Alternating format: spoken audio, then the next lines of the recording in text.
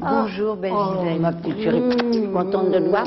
Toujours exact. Oui, toujours. ah, c'est une vieille habitude, tu sais. Et quand je reviens ici, ça me donne la même émotion parce que je ne voulais jamais être en retard pour les répétitions, tu penses. Mais je t'ai applaudi il n'y a pas longtemps. J'ai rendez-vous avec notre cher André et j'étais contente de te voir. Nous aussi, je suis toujours tellement contente de vous voir. Et euh, vous allez tout le temps au théâtre. Oh oui, on bah, vous il voit bien. partout, partout, Oh, partout. partout, Au. Vieux Colombier l'autre jour et tout ça, c'est magnifique. Bah écoute, euh, tu sais, c'est toujours un peu ma maison quand même.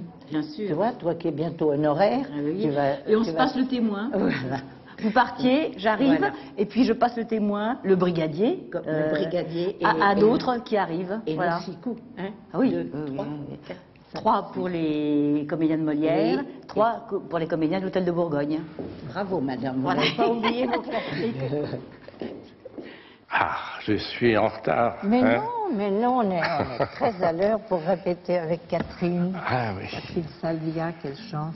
Mais Ah. moi, j'ai voulu faire un petit tour dans la salle parce que je suis toujours très émue de Oui. venir voir cette salle.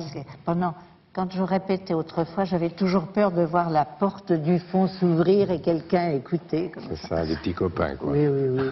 Mais j'allais subrepticement écouter des répétitions pour Mm, m'instruire autrefois.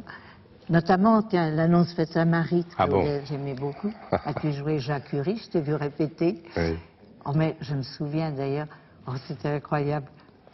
Il y avait eu une réflexion, je ne sais pas, tu avais, ou c'est toi, tu avais demandé quelque chose à Claude. Oui, oui, oui, j'avais dit, J'avais- j'avais dit, écoutez, là, là, vraiment, je ne comprends pas ce que ça veut dire.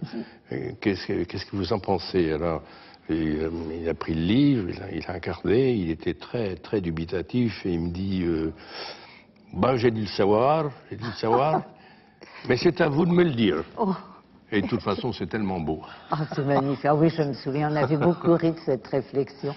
Ah oui, mais c'était merveilleux. Ah mon Dieu. Mais crois-tu que c'est beau? Et ce magnifique. plateau Ce plateau, ah. ça me rappelle le cher Lucien Pascal qui était là euh, pendant les répétitions, qui était d'une minutie, d'un- d'une précision, tout ça. Ah, mais là, ici, je ne le connaissais plus. C'était le directeur de la Ouais, scène. ouais. Ça n'était plus mon mari. Mais quel- retrouvais à la sortie. Quel merveilleux couple vous avez été, vraiment euh, l'harmonie entre Ah, une protestante et un catholique. Ah, c'est beau. C'est vrai. Mais voilà, ça passe vite.